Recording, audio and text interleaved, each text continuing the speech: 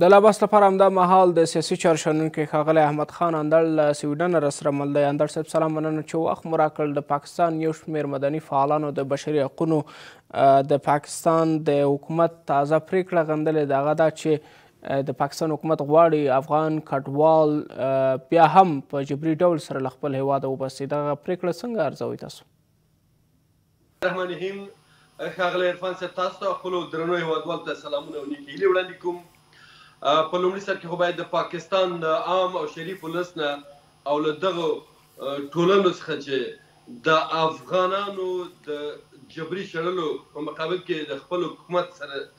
مخالفت کړی ده، یوه نړۍ مننه کوو. خو له بده مرغه چې په پاکستان کې دا شپږ اویا کاله کېږي یو انګریزي حکومت ده، نه یوازې چې ګاونډیان ورڅخه په عذاب دي، نړۍ ورڅخه په عذاب ده، بلکې په خپل ولس یې تاسو ګورئ چې څومره ظلم ده، هلته ډېر سیاسي، اقتصادي، فرهنګي او امنیتي ستونزې راولاړې شوې دي چې دا ټول د دغه پاکستان د خراب سیاست څخه ده چې د دوی د خلکو وضعیت هم خراب ده. افغان کډوال چې په حقیقت کې دوی په خپله خاوره کې پراته دي، تر اټکه پورې زموږ خاوره ده او هلته دوی ټول کار کوي، د پاکستان حکومت نه یوازې دا چې له دوی سره مرسته نه کوي، بلکې هغه مرستې چې د نړیوال ټولنې، د ملګرو ملتونو د مهاجرت له ادارې څخه ورکول کیږي، دا پنځه څلوېښت کاله کیږي چې د پاکستان حکومت هغه د خپل اقتصاد لپاره اخلي او دوی ته هیڅ هم نه ورکوي، خو له بده مرغه چې دا درېیم ځل ده افغان کډوالو ته اولتیماتوم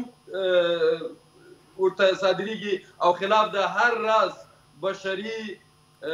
او اسلامي همداسې د بینالمللي قوانینو برخلاف افغان مهاجرین په جبر او په زور سره راشړل کیږي. اندړ صاحب د پاکستان حکومت نوی سه او دا نوی حکومت باید له خپل ګاونډیانو سره د ښو اړیکو جوړولو لپاره هلې ځلې وکړي. فکر نه کوئ چې د پاکستان حکومتونه که هغه نوي دي که پخواني دي او که راتلونکي دي په دې لټه کې نه دي چې له افغانستان سره ښې اړیکې جوړې کړي؟ لومړی خو باید دا ووایو چې د پاکستان حکومت نه ده نوی شوی، هماغه انګریزي قانوني ده، هماغه پخوانۍ کرغېړنې افغان ضد د بشر او د پاکستان د خلکو ضد څېرې لکه شهباز شریف او همداسې زرداري چې پخوا هم هلته حاکمان وو بیا یې واک ته رسولي دي د دوی حکومت نه دی نوی شوی د پاکستان د فوج او د استخباراتو په عمق د ستراتیژیکو ستراتیژي کې افغانانو ته هیڅ ډول بدلون نه دی راغلی دوی کوشش کوي د افغانستان په خلکو او په اوسني حکومت باندې فشار راولي که نه یې دا د دوی هغه پرېکړې چې افغانان باید په زور په جبر سره خپل هېواد ته راستانه شي دا د هېڅ راز بین المللي قوانینو سره مطابقت نه لري بلکې په مخالفت کې دي خو موږ وینو چې نړۍ هم د پاکستان د دغه جابر حکومت په طرفداري ولاړه ده، ملګري ملتونه همداسې زبرځواکونه د سیمې هېوادونه هېڅ راز فشار د پاکستان په دې ظالم او جابر حکومت نه راولي، دوی د افغانانو سره خپله دښمني ښيي، خو افغانان باید خفه نه شي، افغان کډوال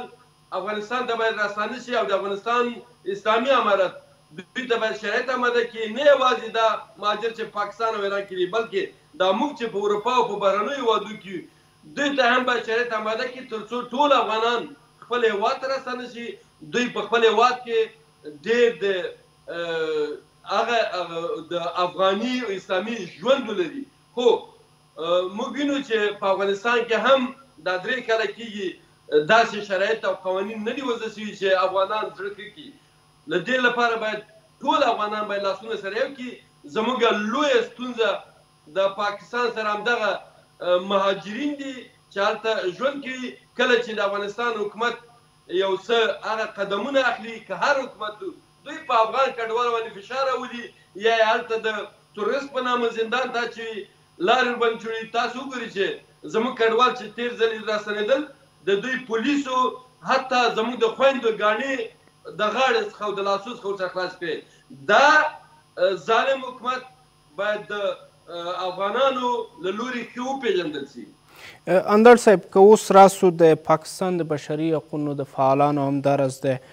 مدني ټولنو استازو او د پوهنتون استادانو مدافع وکیلانو دغه اعتراض ته وګورو څومره به تاثیر پرېږدي د حکومت د پاکستان د حکومت په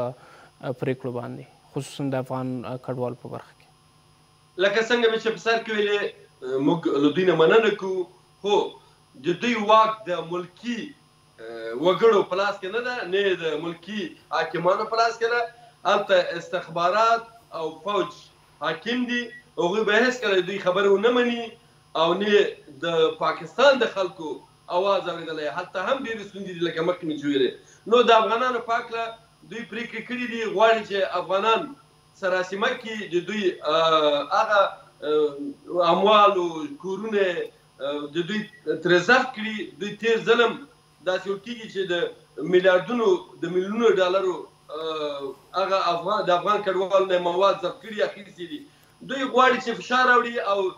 نړۍ ته هم داسې وکړي چې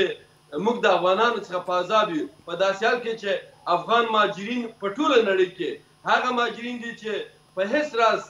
د شرفګني او افراطیت کې لاس نه لري، بلکې د خپلو مټو په زور باندې ځانونو ته د ژوند شرایط عمل کوي او روزي پیدا کوي. اسلامي امارت باید څه ډول پالیسي غوره کړي ترڅو وکولی شي افغان کډوال چې له پاکستانه بیا هم په جبري ډول سره راایستل کیږي په ښه ډول د هغوی لپاره خدمات وړاندې کړي او د هغوی لپاره د نن په افغانستان کې شرایط برابر کړي؟ ښاغلی عرفان صاحب دا یوازې د اسلامي امارت وظیفه نه ده بلکې د ټولو افغانانو وظیفه ده اسلامي امارت هم چې حقیقت وایي د تیرو حکومتونو ډېرې ستونزې ناخوالې دلته دغه د نړیوالې ټولنې د ملګرو ملتونو سیاسي او اقتصادي معاصرې ډېرې ستونزې دي دلته باید ټول افغانان لاسونه سره یو کړي هر هغه زموږ سرمایداران تجاران او لکه تېر ځل چې د دوی مخې ته ورغلل، مرستې یې وکړلې، خپلو افغانانو ته ښه راغلاست وايي، د هر چا چې هر څه په وس کې کېږي باید له دوی سره مرستې وکړي، دا د ټولو افغانانو وظیفه ده، خو دا چې اسلامي امارت کوم قوانین او کوم شرایط اماده کړي، زما په اند اسلامي امارت باید د ټولو مهاجرو لپاره یو داسې ځانګړی کمپاین او د ملګرو ملتونو سره ګډ کار پیل کړي، یوازې افغان حکومت نشي کولای چې دومره لویه پیمانه مهاجرو ته د ژوند شرایط اماده کړي، بلکې دا د نړۍ د بشر د حقوقو نارې چې وهي، په پاکستان کې خو یې د افغان مهاجرو غم ونه خوړه، اوس چې افغانستان ته راځي، دوی ته ډېر څه په کار دي، بودجه په کار ده، اقتصادي او همداسې مادي کومکونه په کار دي، معنوي کومکونه. دا د ملګرو ملتونو